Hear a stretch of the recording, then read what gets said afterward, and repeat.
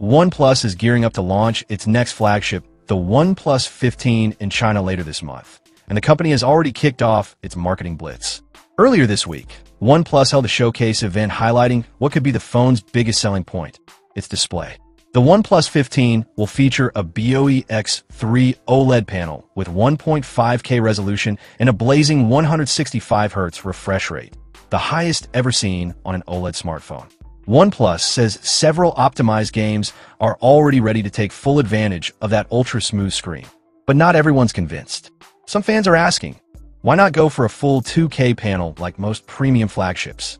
According to Li Jie, president of OnePlus China, the reason isn't cost-cutting, it's technical limitations. In a Weibo post, he explained that no display maker has yet built a 2K OLED panel capable of sustaining 165Hz. Since OnePlus prioritized refresh rate, 1.5K was the only feasible choice. And no, this isn't a cheaper screen. Li confirmed the new BOE X3 panel actually costs more than the X2 display used in a OnePlus 13. He also broke down why most smartphones still max out at 120Hz. Until now, 165Hz panels were limited to 1080p. Moving beyond that required solving a series of serious engineering challenges, including slow pixel charging times. Display driver chips couldn't handle the processing load.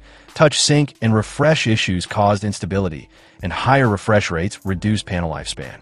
To solve all this, OnePlus and BOE completely re-engineered the display, redesigning the circuitry, and developing new proprietary algorithms that cut pixel charging time to just 1.3 microseconds.